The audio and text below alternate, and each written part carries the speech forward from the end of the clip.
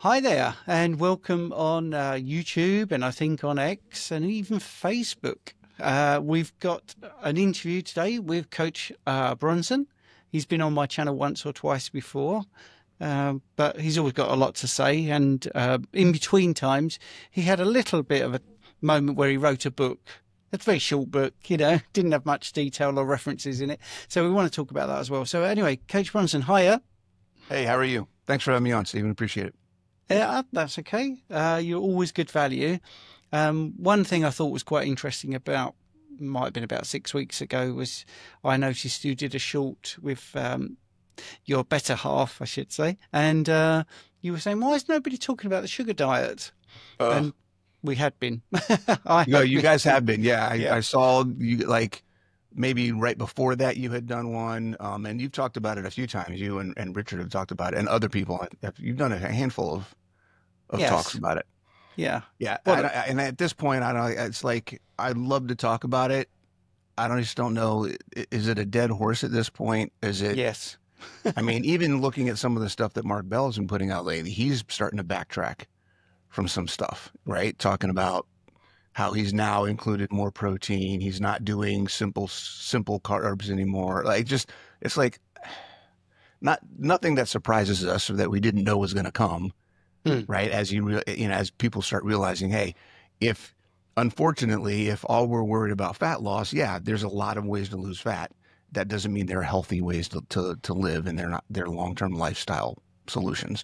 So Well, my big argument was well, not an argument as such, but um, you could literally go into a group of seven year olds and say, here's a diet it's soda, it's candy, it's Sour Patch Kids, it's putting sugar on melons. Okay, little children of seven, is that a healthy diet?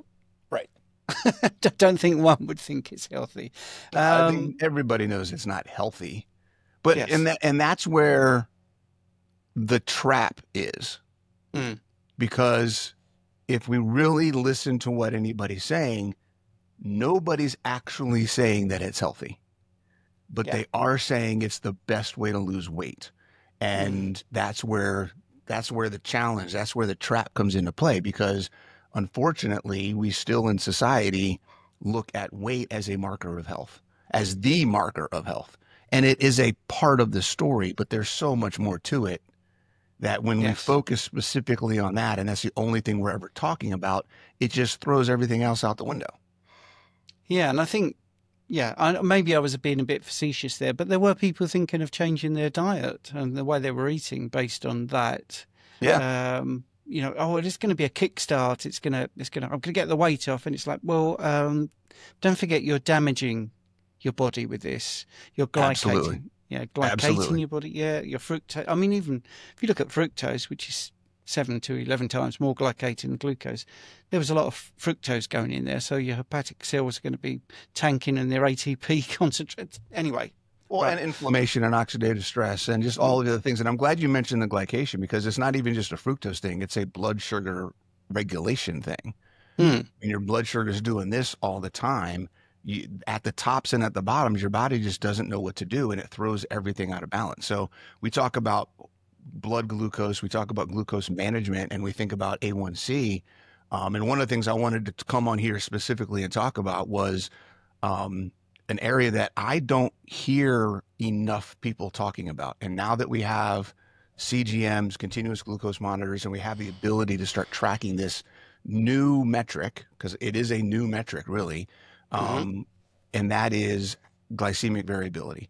So, talking about the impact of the swings yes, and how damaging that actually is to our bodies. And I've got three or four different studies that I've been looking through, um, listening to a bunch of, of newer information because CGMs are fairly new in the in the grand scheme of things, and what we can do with that and the benefit that we get out of it. A lot of people think about, oh, I'm just looking at trying to make sure you know my blood glucose, my A1C stays down, um, trying to determine or uh, uh, evaluate where my insulin might be based on my blood sugar. And we start looking at what food is going to impact my blood sugar. What we're not thinking about is, and there's a, a new measurement. It's um, what is it? It is the hold on. I've got it right here. The mean amplitude of glycemic mm. excursions, which I don't know if you've Yes. heard of or other people have heard of, but I need, I, I, I like, I want more people to start talking about this because based on the data that we have, the swings of the highs and the lows of your blood sugar is being seen more broadly as having more damaging impact than A1C. Well, So if you have an A1C, even if your A1C is six, if you have a high MAGE, mean amplitude of glycemic excursions, which means your swings above your average, your swings up and your swings down above your average, if there are a lot of them and they're really high, even if your average is a 6.0, if your average is a 5.5 for A1C, if your variability is high, you are at a higher risk of cancer, glycation, injury, inflammation, all of the chronic issues that we have, um, insulin sens- insulin resistance, all of those things are actually at a higher risk when your variability is high versus just looking at your overall totals. Yeah, absolutely. Um, I mean, th- this is something I have talked about for so long. Uh, I, I bore myself hearing hearing myself saying it again. But you know, firstly, when you look at an average, if you and I'll use really round figures just so people get this. If your average over 24 hours is 100 milligrams per deciliter, was that achieved by it being 150, then down to 50, up to 150, uh-huh. down to 50? da- da. So that that's what we're talking about. Or was it 105, 95, 105, 95? And Right. your average, you could say at the end, well, that's great. My average is 100. That's totally irrelevant, actually. What you just said is important. Uh, what happened throughout the 24 hour period. Secondly, you could also have a good blood glucose reading, but you don't know how much insulin is required to give you that good blood glucose reading. So you could be saying, wow, it doesn't matter. Let's go to English numbers now. Let's say, oh, it's 4.6. That's fantastic. Well, how have you got 4.6 millimoles per litre? Did you need a lot of insulin? And this is one of the things because I did, a, you know, a decade with private uh, private lab doing blood testing. We could see that actually you did need to know your insulin as well. What was your insulin level that achieved this great reading? So you could be sitting there thinking, well, my blood glucose looks great, which is me. It's my story. I got into my 40s. I was, you know, I believed all the high carb stuff. Um, and I thought I was doing really well, and then it all hit me. Everything caught up with me. Well, if I'd have been able to measure my insulin ten years previously, I would have known. Wow, I'm I'm needing a lot of insulin to get these results from my blood glucose. It's it's Mhm. incredible. So, yeah, I think is this mentioned in your book, by the way? This is not because this is something that just over the last, I don't know, six months I've been really digging into.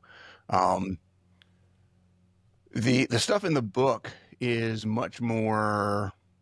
What's the, it's it's well. Let's just talk about the purpose of the book. So the latest book, Body Confident. I'm assuming that's what you're talking about.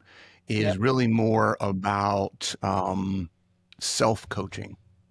Mhm. It's about understanding the the aspects of what the minimum the minimum requirements for success are in mindset, fitness, and nutrition.